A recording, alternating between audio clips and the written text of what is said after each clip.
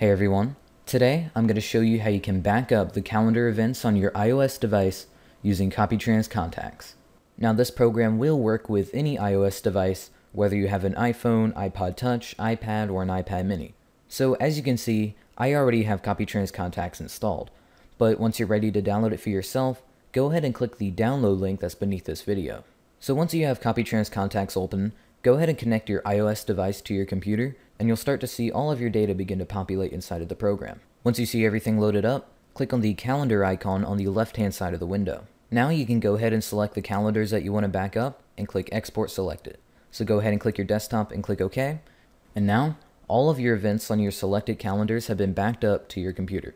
So to show you that it worked, I can go ahead and open up my desktop, and you can see that I have my iPod Touch 4G folder, and if I open this folder, you can see that I have my two backup files. Now these files can be used to restore my calendar events on any other iOS device using CopyTrans contacts. So that's about it guys. Thanks for watching this video and I hope I helped.